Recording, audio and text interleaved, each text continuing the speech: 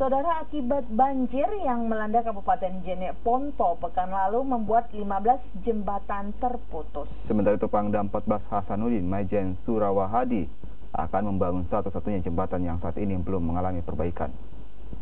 Sekitar 15 jembatan putus akibat banjir yang melanda di Kabupaten Jenek Ponto pekan lalu.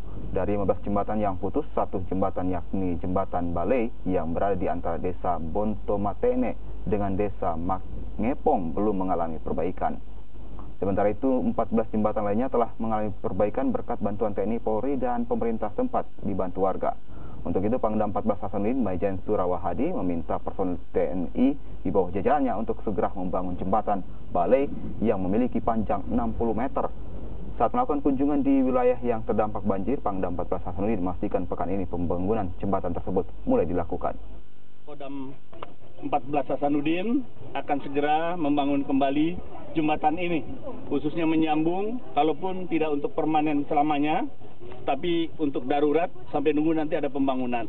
Jadi kita akan nanti bersama-sama dan kita juga minta dengan saya nanti dari Polres juga bisa nanti bekerja bersama-sama Pak Kapolres ya untuk bantu sama-sama. Secepatnya tapi hebat konstruksinya bagus.